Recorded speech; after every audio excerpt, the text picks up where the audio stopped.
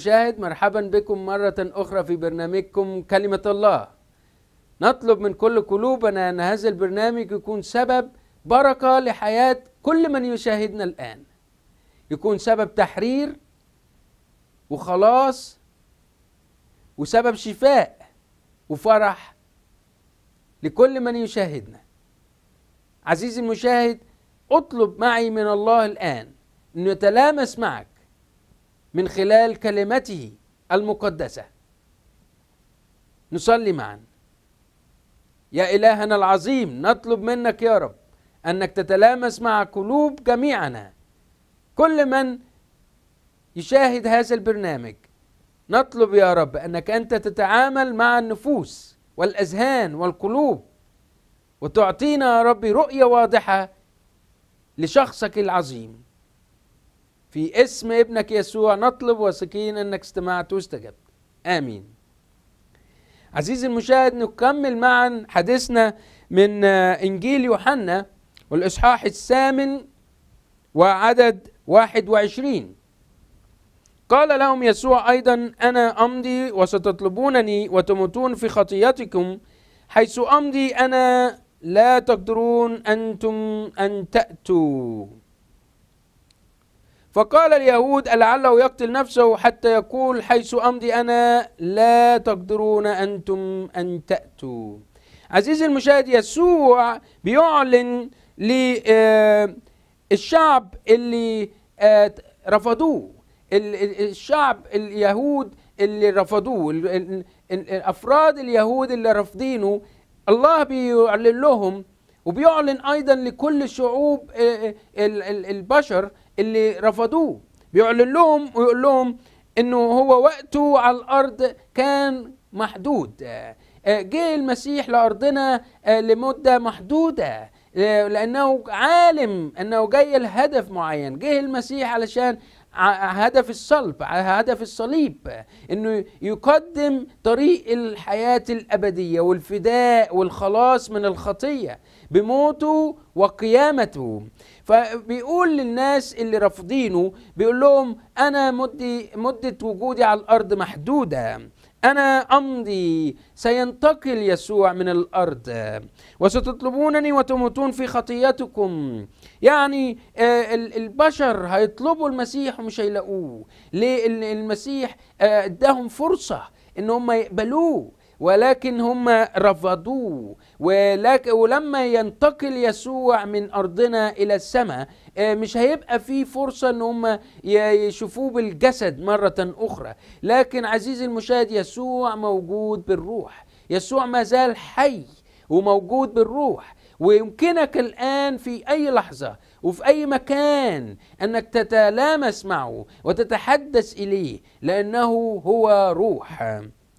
ستطلبونني وتموتون في خطيتكم أي إن كنت ترفض المسيح وتبحث عنه فلن تجده لكن إمتى ستجد المسيح؟ عندما تفتح قلبك له ستجده حاضرا معك وبجانبك وبجوارك محيطا بك يعتني بك. لكن كلمات يسوع هذه لكل من رفض يسوع يملك عليهم. حيث امضي أنا لا تقدرون أنتم أن تأتوا. المسيح بيعلن انه سينتقل من هذا العالم بروحه بالروح ستنتقل للسماء. وبيعلن أيضا للذين رفضوه ان أنهم لا يقدروا أن ي- يأتوا إليه لأنه كل إنسان رفض المسيح ليست له حياة أبدية وليس له أن يدخل السماء. كل إنسان رفض المسيح لا يقدر أن يتبع المسيح. فقال اليهود لعله يقتل نفسه حتى يقول حيث أمضي أنا لا تقدرون أنتم أن تأتوا. نعم يسوع ما قتلش نفسه يسوع خضع جاء وأخضع ذاته لخطة الله في حياته. وخطة الله الآب في حياة يسوع أنه يأتي أنه أن يسوع يصلب على الصليب فدية عن كل البشر. فكل من يؤمن بيسوع يكون له حياة أبدية. فقال لهم أنتم من أسفل أما أنا فمن فوق؟ أنتم من هذا العالم أما أنا فلست من هذا العالم. يسوع بيعلن حقيقته حقيقة آه، حقيقة نفسه. حقيقة نفسه إن هو آه، من فوق. آه، بيعلن أيضا بيوضح ل- للذين رفضوه انهم من أسفل. من يعني إيه أسفل؟ أي أسفل هذه الأرض أي آه، ترابيون جسديون و ليست فيهم روح الله بل آه، يسكن فيهم روح إبليس. وكل من يرفض المسيح فهو آه، يسكن فيه روح إبليس.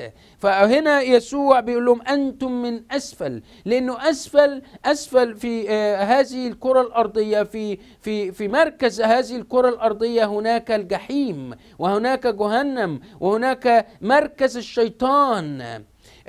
وكل من تبع الشيطان فهو أيضا من أسفل. وكل من رفض المسيح فهو سمح لروح الشيطان أن يسكن فيه. أما أنا فمن فوق يسوع بيعلن عن نفسه إنه هو من السماء من عند الله. أنتم من هذا العالم أما أنا فلست من هذا العالم. أي أن آه العالميون الناس العالميون اللي هو آه، أشرار. لماذا العالميون أشرار؟ لأن العالم وضع في الشرير. عندما سقط إبلي عندما سقط آدم دفع هذا العالم إلى الشرير إلى يد الشرير إلى يد إبليس. فكل من آه، سمح لن- لنفسه أن يرفض المسيح. كل من رفض المسيح يسمح لإبليس أن يملك عليه. أنتم من هذا العالم. بيكلم مين؟ بيكلم جماعة اليهود الذين رفضوه. المتزمتين المتشددين المتدينين اللي هم ما بياخدوش أمور الله آه، بالروح ولكن بياخدوها بالحرف باتباع أعمال معينة بيحاولوا ان هم يرضوا الله وهذا مستحيل وهذا خاطئ.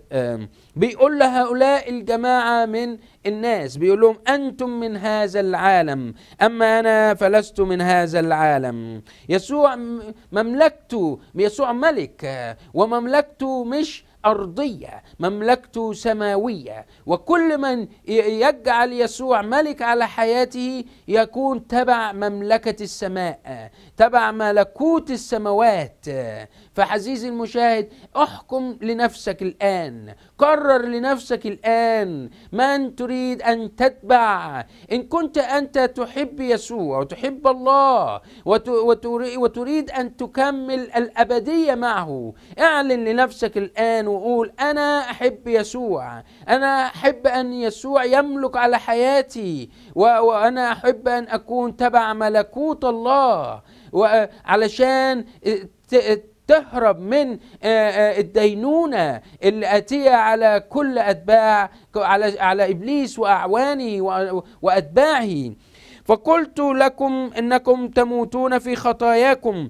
لأنكم إن لم تؤمنوا إني أنا هو تموتون في خطاياكم. معناها إيه تموتون في خطاياكم؟ الإنسان كل البشر مولودين ومحكوم عليهم بالموت. ليه؟ لأنه الله قال لآدم وحواء يوم تأكل من هذه الشجرة موتا تموت. موتا تموتا. يعني إيه موتا تموتا؟ يعني حكم بالج- بالجحيم بجهنم بانفصال عن الله للأبد. فهذا الحكم سرى على كل البشر وعلشان الله حبك جدا عزيزي المشاهد ومش عايزك تنتهي توصل للجحيم عشان كده هو بنفسه جه للأرض لأنه هو الوحيد اللي بلا خطية اللي يقدر يفديك ويفديني من خطايانا. يسوع هو ال ال ال الإنسان الوحيد اللي بلا خطية اللي مات على الصليب علشان يفديك ويفديني. وعندما تؤمن بيسوع تهرب من الدينونة اللي على كل البشر. وأنت أيضا عزيزي المشاهد حتى تهرب من هذه الدينونة التي جاءت على كل البشر بسبب خطية آدم وحواء. الحل الوحيد أنك تقبل يسوع مخلصا لشخصك مخلصا لحياتك. تفتح آه، قلبك تفتح فمك وقلبك وتقول ليسوع خلصني من خطاياي خلصني من الجحيم خلصني من عقوبة الموت. أنا محتاج دمك يطهرني من كل خطاياي. عزيزي المشاهد لما تقبل يسوع يكون مخلص ليك ست... ستخلص من خطاياك وتهرب من الدينونة الآتية على كل البشر. إن لم تؤمنوا إني أنا هو. لو الإنسان ما أمنش إن يسوع هو الله تموتون في خطاياكم. تستمر عليك ال- الدينونة اللي جات على كل البشر. فقالوا له من أنت؟ فقال لهم يسوع أنا من البدء ما أكلمكم أيضا به. الناس اللي رفضوا المسيح مش هيقدروا يستوعبوا مين يسوع. عزيزي المشاهد لو أنت لحد دلوقتي ما عرفتش شخصية حقي حقيقة شخصية يسوع المسيح وما زلت تبحث عن شخصية يسوع وبت- وبتسأل من هو يسوع؟ زي هؤلاء ال- الكتبة والفريسيين قال لهم يسوع أنا من البدء ما أكلمكم أيضا به. اللي يسوع أعلن عن نفسه مرارا عديدة من قبل وبيقول لهم أنا قلت لكم عن نفسي قبل كده إن يسوع قال عن نفسه أنا هو خبز الحياة أنا هو المن النازل من السماء أنا هو الطريق والحق والحياة أنا هو الماء الحي. يسوع أعلن عن نفسه أنا هو النور آه، نور الحياة نو- نور العالم. يسوع أعلن عن نفسه مرارا عديدة. أنه هو آه، ال- ال- المخلص والفادي. وكل من يتبعه لم يمشي في الظلمة. يسوع بيقول لهم أنا هو ما قلت لكم آه، اللي قلت لكم عني قبل كده. إن لي أشياء كثيرة أتكلم وأحكم بها من نحوكم لكن الذي أرسلني هو حق. وأنا ما سمعته منه فهذا أقوله للعالم. عزيزي المشاهد يسوع كان يعلم إنه هؤلاء اللي رفضوه يعلم خطاياهم ويعرف يعرف أعمالهم ولكن ما كانش وقته إنه يحكم عليهم ويدينهم. يسوع جه علشان يخلص البشرية في ذلك الوقت وكان بس بيعلن ما يسمعه من الله الآب. الكلمات التي كان يضعها الله الآب على فمه كان يتفوه بها يسوع. ولم يفهموا إنه كان يقول لهم عن الآب ليه ما بيفهموش؟ لأنهم ما أخدوش روح المسيح. والإنسان الطبيعي لا يقدر أن يفهم ما لروح الله. عزيزي المشاهد لو أنت سمعت برامج مسيحية كثيرة ولو أرا- قريت الكتاب المقدس ومش قادر تستف... تستوعب وتفهم لأنك ل... لم تنال آه، روح الله بعد. وعلشان تقدر تفهم معنى ومغزى الروحي لكلمات يسوع آه، أو ال- ال- المعنى ومغزى كلمات الكتاب المقدس آه، عليك أن آه، تسمح لروح الله أن يسكن فيك و- و- و- وعندئذ فقط ستقدر أن تستوعب وتفهم المعنى والمغزى الروحي لكلام الله. كيف تسمح لروح الله أن يسكن فيك؟ عندما تقبل يسوع المسيح يكون فادي لحياتك ومخلص شخصي لك حينئذ يدخل روح الله في قلبك ويعطيك فهم لشخصه وف- ولكلمته. فقال لهم يسوع متى رفعتم ابن الإنسان؟ فحينئذ تفهمون إني أنا هو. ولست أفعل شيئا من نفسي بل أتكلم بهذا كما علمني أبي.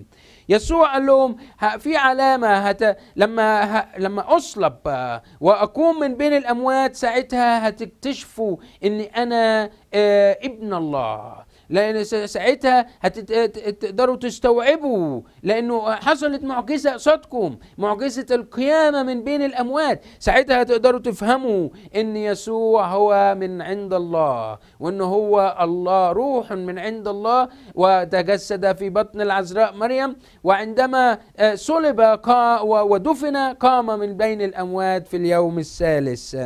فيسوع بيقول لهم يسوع بي بي بيعلن عن انه انه هو عارف آه، آه، آه، عن مصيره إنه سيصلب. يسوع وهو عايش على الأرض عارف إن هذه هي مهمته التي جاء من أجلها. فيسوع بيعلن لهم عندما ترفعوا ابن الإنسان مين هو ابن الإنسان؟ يسوع. بيتكلم عن نفسه. ليه سمي بابن الإنسان؟ لأنه هو ال- الله الذي سمح أن يولد من الإنسان. فهو ابن الله بالروح وهو ابن الإنسان بالجسد. وعندما يصلب ويدفن ويقام بالأموات ستنكشف عن عيون آه، بعضهم آه، أنه هو الله الذي ظهر في الجسد. ولست أفعل شيئا من نفسي بل أتكلم بهذا كما علمني أبي. والذي أرسلني هو معي ولم يتركني. الآب وحدي لأني في كل حين أفعل ما يرضيه يعني الآب والابن متحدين معا دائما. الآب والابن هم روح. روح الآب الله روح الله الآب وروح الله الابن. هم مت في, في باتحاد تام بغير انفصال مع الروح القدس. وعشان كده آه، آه، المسيح بيعلن أنه آه، الآب لا لم يتركه وحده لأنه في كل حين أفعل ما يرضيه يسوع بيعلن أنه هنا على الأرض لإتمام مشيئة الآب. وعدد ثلاثون وبينما هو يتكلم بهذا آمن به كثيرين.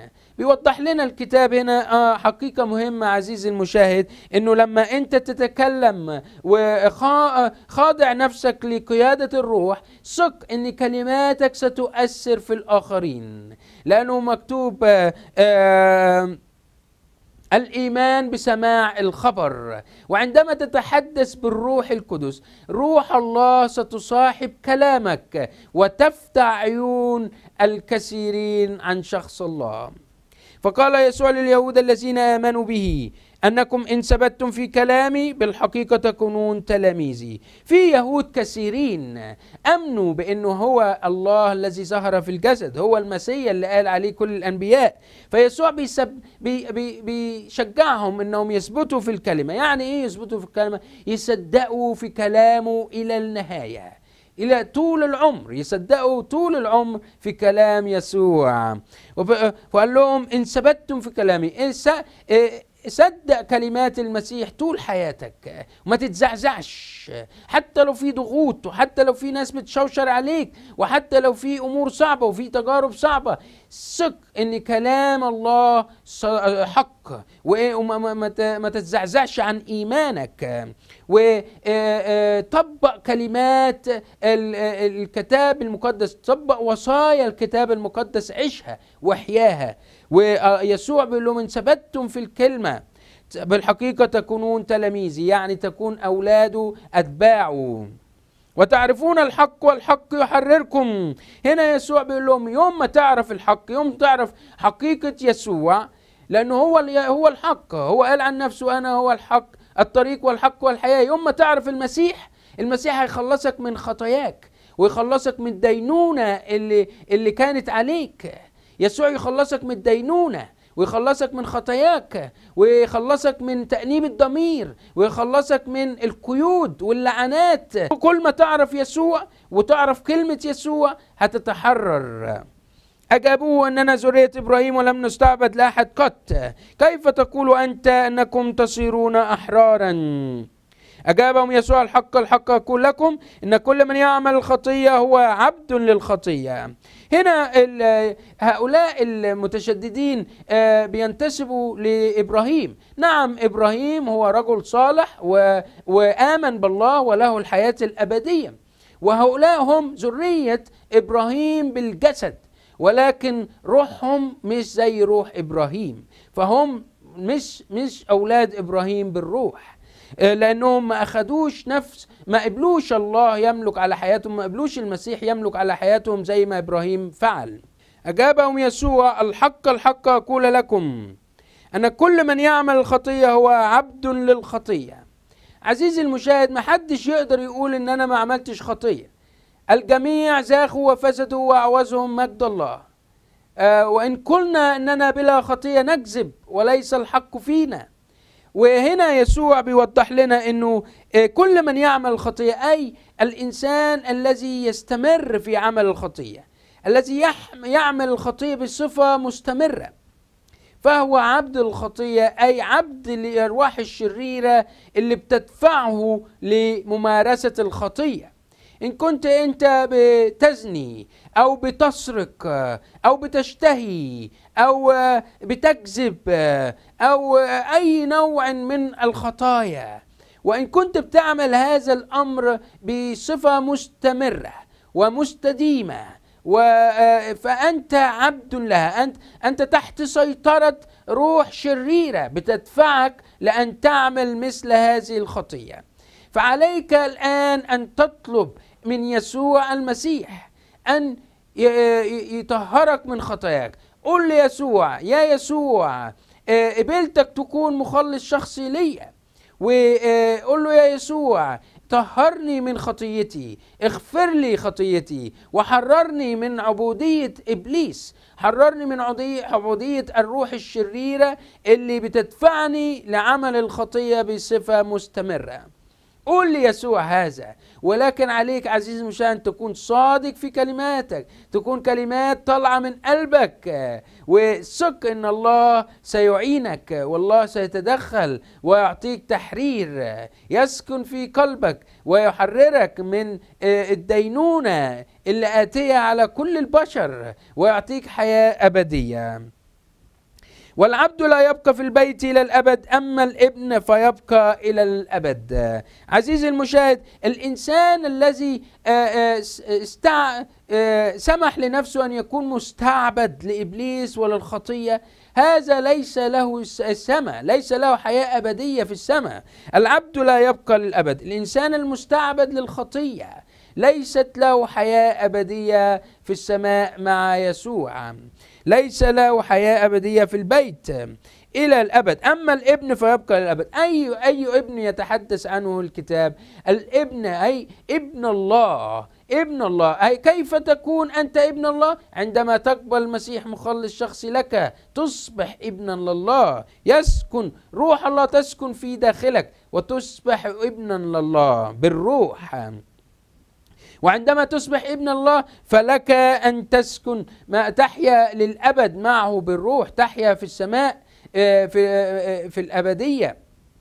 فإن حرركم الابن فبالحقيقة تكونون احرارا. هنا المسيح بيؤكد لكل من يتبعه أنه سيكون حر من الخطية وحر من الدينونة التي جاءت على البشرية. بسبب خطية آدم وحواء. أنا عالم أنكم ذرية إبراهيم لكنكم تطلبون أن تقتلونني لأن كلامي لا موضع له فيكم.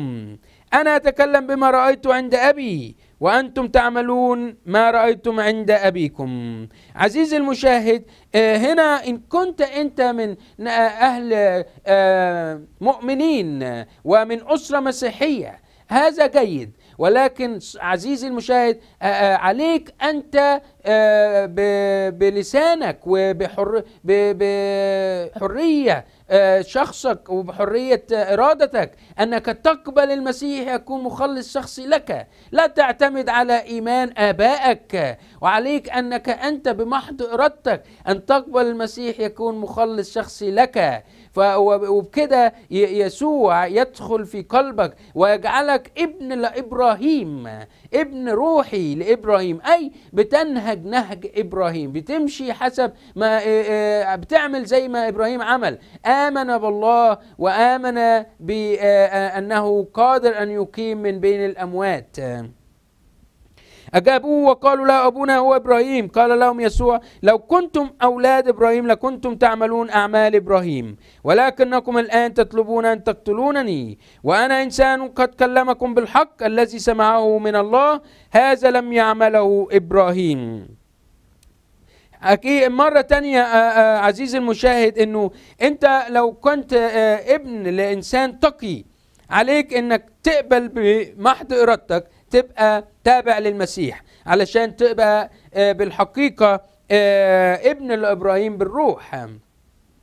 وهنا يسوع بيقول لهم أنتوا أولاد إبراهيم بالجسد أنتوا أيضا فعلا نسل إبراهيم ولكن روحكم مش زي روح إبراهيم لأنه أنتوا عايزين تطلبون أن تقتلونني أي هم أعداء المسيح وبيرفضوا المسيح يملك على حياتهم.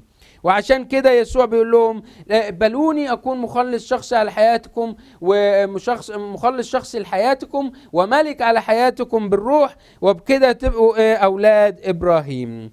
عزيزي المشاهد آه، بنعمة الرب نكمل معا في الحلقات القادمة. ولإلهنا كل المجد إلى الأبد. آمين.